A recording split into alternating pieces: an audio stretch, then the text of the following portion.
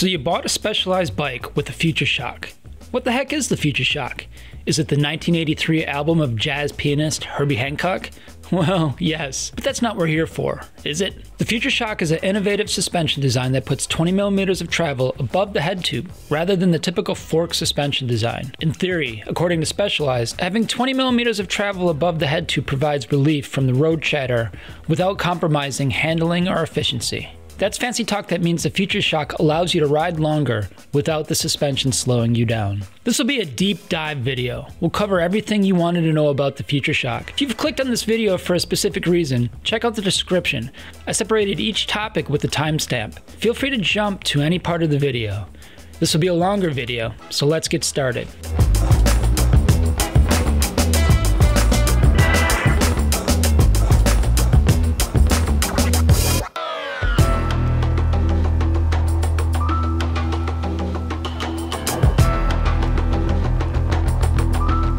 You're new here, my name is Joe, and I love bikes, adventures, and enjoying how freaking amazing life is. If you love any of that, hit subscribe. And if by the end of this video you found it helpful or entertaining, hit that like button.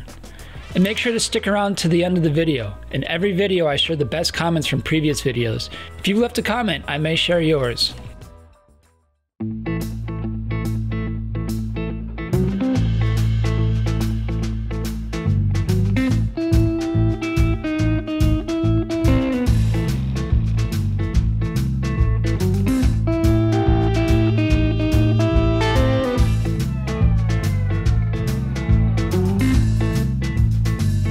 Since you're watching this video, I imagine you're riding or considering riding a specialized Diverge, Roubaix, Ruby, Sirrus, or one of the two new e-bikes to the Future Shock lineup, the Turbo Creo SL and the Turbo Vado SL.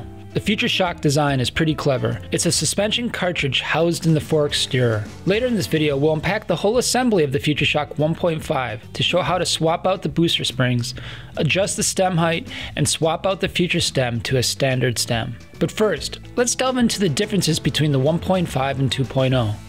Lower end models have the 1.5 and higher end models come with the on the fly adjustability and hydraulic damping of the 2.0. If you want to quickly change the damping rate on the 2.0, simply turn the dial. To change the rate of compression in the 1.5, you have a choice of three springs and what you'll need to swap out before you ride. Depending on your model, these springs will either be linear or progressive. More on these springs later when we go over changing the springs in the 1.5. While the adjustability of the 2.0 during your ride, opposed to swapping springs before your ride on the 1.5, is the most noticeable difference. The most ingenious distinction is the technology of the 2.0. The oil-based hydraulic damping system reduces spring rebound on rough terrain.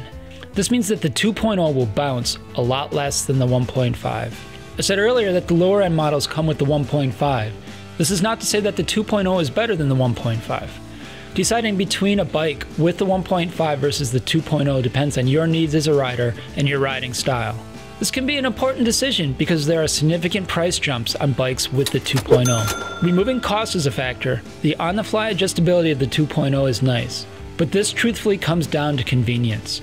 In my opinion, your decision between a bike with the 1.5 or the 2.0 should come down to the benefits of hydraulic damping. If your rides are predominantly on rough terrain with lots of road chatter, the damping of the 2.0 will work better for you. But on a typical road ride, the 1.5 is more than adequate. I've said before on this channel, there are a lot of trade offs in life and cycling. Deciding between the 1.5 and 2.0 Future Shock is no different.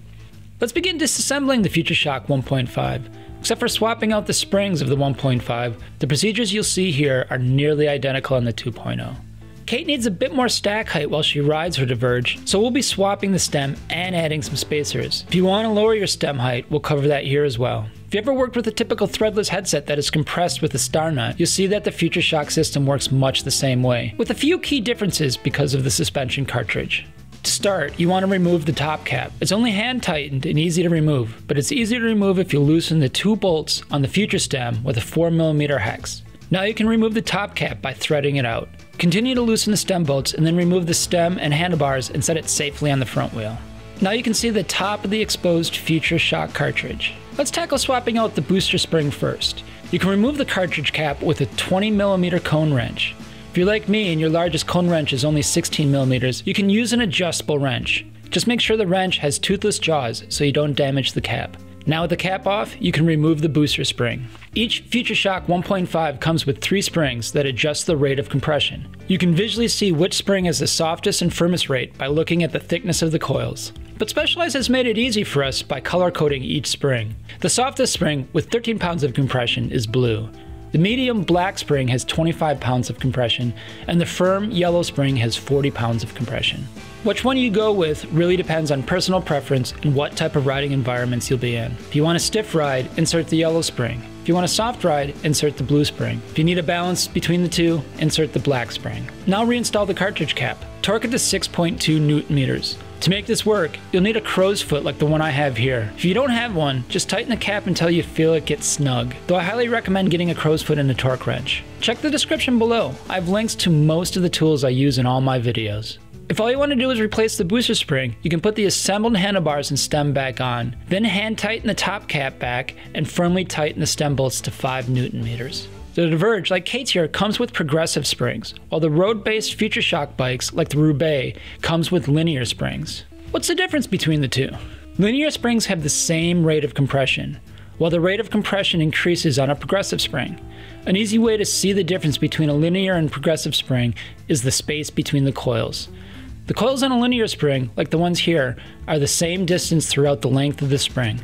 The coils on a progressive spring will change throughout the length of the spring. If you've been observant, you may have noticed that the springs I swapped here are linear and not progressive like the Diverge should have. I'm not sure how Kate got linear springs with her Diverge. My guess is the bike shop received a delivery of a Roubaix and a Diverge on the same day, assembled them close together, and accidentally swapped the bags with the springs in them. Let's swap out the stem. The Future stem clamps to the Future Shock cartridge like a typical stem would to a fork steerer tube. The top of the cartridge is narrower than a typical steerer tube, so the future stem comes with a shim to fit it over the top of the cartridge. If you want to fit a standard 1 and 1 8 inch threadless stem, you need to use this thicker spacer. That's what we'll be doing here. We'll be swapping out the future stem with a specialized comp multi-stem. This is a pretty cool stem that allows you to adjust the stem angle. This is the 17 degree model. It can be adjusted from negative 13 degrees to 21 degrees by using three different types of shims. Don't let the complexity of the stem muddle the ease of the Future Shock stem swap. I just think it's a cool design that will help Kate dial in her stem height without buying a ton of different stems. To replace the future stem, simply loosen the stem bolts and top cap as before. Since we're replacing the stem, we'll also remove the handlebars from the stem with a 4mm hex wrench. Now let's fully loosen the stem bolts and remove the future stem. To install the standard threadless stem, insert the thicker cartridge shim into the stem and insert the stem on the cartridge top. So that everything lines up, align the shim with the stem slot and the front wheel. Now you can thread the top cap and tighten the stem bolts. Torque the bolts to the specified spec on your stem. This multi-comp stem should be torqued to 5 newton meters. Reinstall your handlebars, torque them to spec, and you're done. What if you want to raise or lower your stem height? In a typical threadless headset design, this is done with spacers, like the ones you see on my Soma Wolverine. There are a few ways to adjust the stem height with a Future Shock. Both involve removing the cartridge. To remove the Future Shock cartridge, make sure your front wheel is placed on the ground so the fork assembly doesn't slip out. Slide out the headset cover by pinching both sides and pulling it to the front of the bike. Then with a 4mm hex wrench, loosen the collar bolt on the drive side. Once it's loose enough, you can pull out the whole Future Shock cartridge. The cartridge is not serviceable. If it ever gets damaged, you can replace the entire cartridge for around 55 US dollars. Now I have a choice between the tall headset cap and the short headset cap. If you want to use the lower cap, slide the tall headset cap off and replace it with the low cap. Slide the cartridge back into the fork steer and tighten the 4mm collar bolt through the short cap hole. Before assembling the stem and handlebars in place, you need to make sure the preload is adjusted correctly. We'll cover this after the next step on raising your stem height. To raise your stem height, your kit comes with three 5mm spacers that you can install between the Future Shock boot and the headset cap. Specialized advises not going above 15 millimeters. Here, we'll install all three spacers. If your kit didn't come with spacers, contact your local bike shop. The Future Shock cartridge has a wider diameter than a standard fork steerer, so typical 1 and 1 8 inch spacers won't work here as they will be too small. After installing the spacers, insert the cartridge into the fork steer by lining up the arrow on the cartridge with the front of the bike. Then torque the collar bolt to 4 newton meters. Now slide the stem into the top of the cartridge and thread on the top cap and torque all stem bolts to spec. Before we insert the headset cover, let's check to ensure that the preload is set right. Take your bike off the stand. While holding the front brake, try and rock the bike forward and backward. Most bikes have some movement, but if you feel any excessive movement, or worse, see the fork move where it meets the frame, you'll need to adjust the preload. Start by loosening the locking screws on either side of the collar with a 2.5mm hex. Now tighten the two preload screws with a 2mm hex wrench until they contact the compression ring. Don't adjust one preload screw and then the other.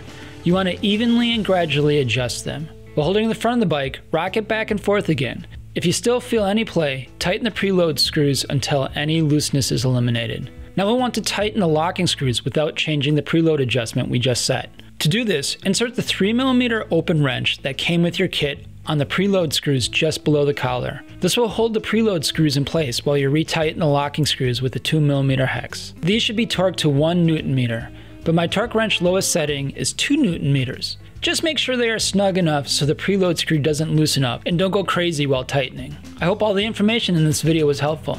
If so, hit that like button and subscribe to the channel if you want to see more videos like this.